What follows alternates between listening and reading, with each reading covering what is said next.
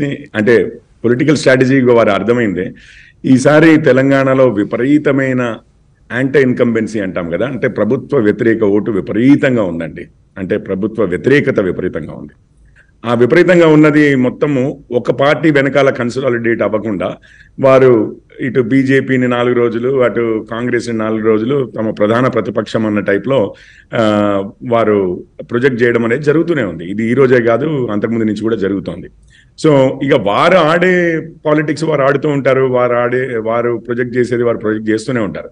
దాన్ని బట్టే రాష్ట్ర రాజకీయాలన్నీ ఇటు బీజేపీ వారైనా అటు కాంగ్రెస్ వారైనా అంటే మా పార్టీ అయినా కాంగ్రెస్ వారైనా కానీ ఇప్పుడు కేసీఆర్ గారు మొదలుపెట్టిన అంటే నెరేటివ్ నే కంటిన్యూ చేస్తా అనేది ఏం లేదు. వారి గేమ్ వారు ఆడుకుంటూ ఉంటారు బీఆర్ఎస్ వారు కేసీఆర్ గారు. మా పాలిటిక్స్ మేము చేసుకుంటూ ఉంటాం. అంటే మా- మా తీరుతెన్నులు మావి ఉంటాయి మా పద్ధతి మాది ఉంటది మా ప్లాన్ మాది ఉంటది.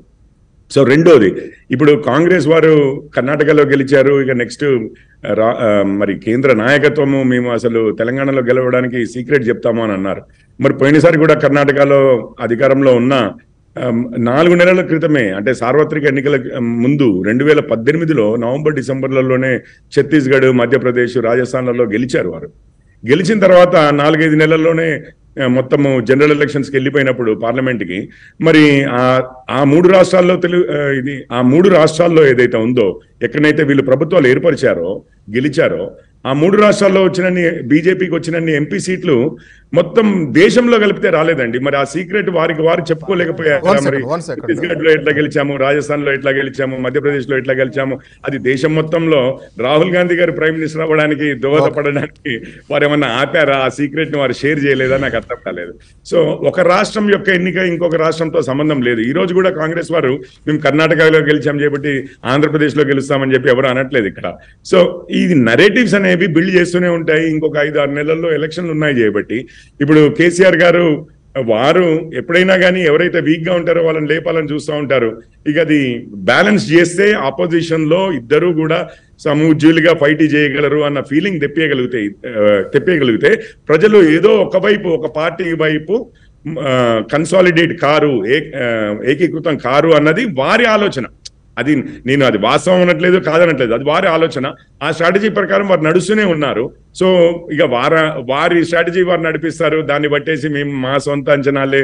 కిషోర్ గారు మీరు అన్నట్టుగా కేసీఆర్ గారి నెరేషన్ అనే మాట మీరు అన్నట్టే అది దాదాపుగా one one and half year నుంచి చూస్తున్నాం మనం అది.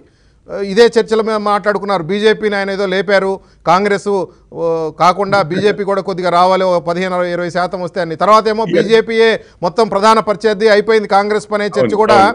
అది నెరేషన్ కేసీఆర్ గారిది అయ్యుండొచ్చేమో కానీ బట్ జనంలో కూడా చర్చ వెళ్ళింది. జనంలో కూడా చర్చ వెళ్ళింది అది.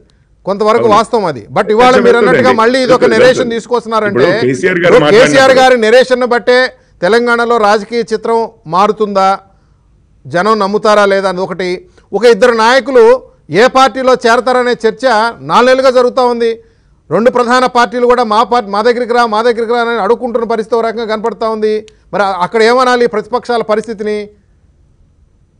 ఇప్పుడు మీరు అన్నది ఇప్పుడు కేసీఆర్ గారు వారు అనడం వల్ల ప్రజల్లోకి వెళ్తుంది అనడం ఒక ఇప్పుడు అధికారంలో ఉన్న పార్టీ అండి. కేసీఆర్ గారు ముఖ్యమంత్రి. వారు అన్నది తప్పనిసరిగా ప్రజల్లోకి వెళ్తుంది. అందులో ఇదేమీ లేదు కదా ఆశ్చర్యం ఏమీ లేదు. వారు అన్నది తప్పనిసరిగా వెళ్తుంది వెళ్ళాలనే వారు మాట్లాడుతూ ఉంటారు. మీరు అన్నట్లుగానే అంతకుముందు బీజేపీని లేపారు అనేది కాంగ్రెస్ వారు అని ఉంటారు ఇంకొక పార్టీ వారు కూడా అని ఉంటారు. సో ఇవన్నీ కేసీఆర్ గారు తన పదవి తాను ఎట్లా కాపాడుకోవాలి అన్న దానికి తాను వేస్తున్న తనకున్న స్ట్రాటజీ ప్రకారం తాను వెళ్తున్నారు. సో దాన్ని చూసే మిగిలిందంతా మనం అంచనా వేయాలి వేయకూడదు అని అంటే అది కాదు. ఒక విధంగా నిజం చెప్పాలంటే వారు ఎవరినైతే లేపుతున్నారో వాళ్ళకన్నా అవతలలో స్ట్రాంగ్ ఉండబట్టే యువతల పార్టీని లేపుతున్నారు అన్న వాదనలు కూడా అంతకుముందు మనం విన్నాము. బీజేపీని వారు ప్రధాన ప్రత్యర్థి అన్న రోజుల్లో కాంగ్రెస్ వారు ఏమనేవారు? ఇగో బీజేపీని కావాలని లేపుతున్నారు మా ఎదుగుదలని ఆపడానికి జనాలని అటెన్షన్ డైవర్ట్ చేయడానికి బీజేపీ వాళ్ళని లేపుతున్నారు అని వారు అన్నారు. ఇప్పుడు అదే మాటలు ఈ రోజు మరి కాంగ్రెస్ వారికి కూడా అప్లై అవుతాయి. అంటే కేసీఆర్ గారు ఇప్పుడు మేమిద్దరం కొట్టుకోవడం కాదు ఇక్కడ ఇష్యూ. కేసీఆర్ గారు సెట్ చేసిన అజెండాలోనే మేము ఇద్దరము పడి మాట్లాడుకుంటూ ఉంటే మనం డిస్కస్ చేసుకుంటూ ఉంటే మనం ఫైట్ చేసుకుంటూ ఉంటే వారు గెలుద్దాం అనేది అది ఇది. సో అసలు ఇక్కడ ప్రజా సమస్యలు ఏమున్నాయి? ప్రజలు ఏమంటున్నారు. ఈసారి ఎంత వ్యతిరేకత ఉంది. దానికి మేమేం చేయాలి? ఓకే కిషోర్ గారు మీరు అన్నట్టుగా కేసీఆర్ గారి నెరేషనే తప్ప ప్రజల ప్రజల యొక్క కోణం కాదంటారు మీరు అది వారు hundred percent ya, ya, okay Rammohan Reddy గారు రామ్మోహన్ రెడ్డి గారు అట్లా అనుకోవచ్చా కాంగ్రెస్? ఎప్పుడు కూడా మాక్సిమం నెరేషన్ అని మినిమం గవర్నెన్స్ ఓకే ఉంటుంది ఓకే సార్ ఒక వ్యూహాత్మకంగా ఆయన అయితే చేస్తూ ఉండొచ్చేమో బట్ అందులో ఎంతో కొంత వాస్తవికత అనేది ఉండదా? ఒకటి కేసీఆర్ గారి నరేషన్ మీద మిగతా పార్టీలు పడతాడు బీజేపీ పడుతుండొచ్చు కానీ కాంగ్రెస్ ఎప్పుడు పడదు. మాకు అట్లాంటి లైన్ ఎప్పుడు తీసుకోదు.